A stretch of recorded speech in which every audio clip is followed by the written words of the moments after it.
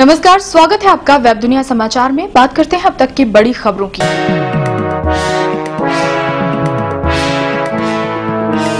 देशद्रोह के मामले में डीयू के पूर्व लेक्चरर गिरफ़्तार। दिल्ली विश्वविद्यालय के पूर्व लेक्चरर एस आर गिलानी को यहाँ आयोजित उस समारोह के संबंध में देशद्रोह और अन्य आरोपों के तहत गिरफ़्तार किया गया है, जिसमें भारत विरोधी नारे लगाए गए थे। पुलिस उपायुक्त जतिन नरवाल ने कहा कि गिलानी को देर रात करीब तीन बजे संसद मार्ग पुलिस थाने में गिरफ़्तार किया गया।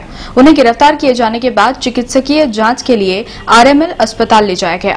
इस बीच दिल्ली की एक अदालत ने राष्ट्र विरोधी कार्यक्रम के संबंध में देशद्रोह और आपराधिक साजिश के मामले में गिरफ़्तार जेएनयू छात्र संघ के अध्यक्ष कन्हैया कुमार की पुलिस हिरासत दो दिन के लिए बढ़ा दी है।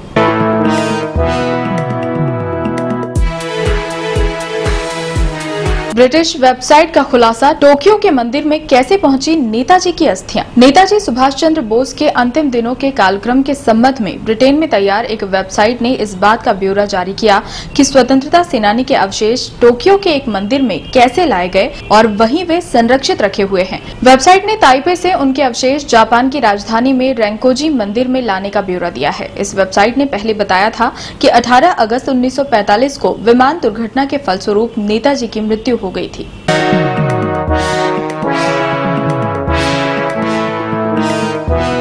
सीरिया में पाँच अस्पतालों पर मिसाइल हमले 50 की मौत। संयुक्त राष्ट्र ने बताया कि उत्तर सीरिया के अलेप्पो में सोमवार को कम से कम पाँच अस्पतालों और दो स्कूलों पर किए गए मिसाइल हमले में बच्चों सहित तकरीबन 50 नागरिकों की मौत हो गई। संयुक्त राष्ट्र के उप प्रवक्ता फरहान हक ने कहा कि संयुक्त राष्ट्र के महासचिव बान की मून ने माना कि इस तरह के हमले अंतर्राष्ट्रीय कानून का घोर उल्लंघन है।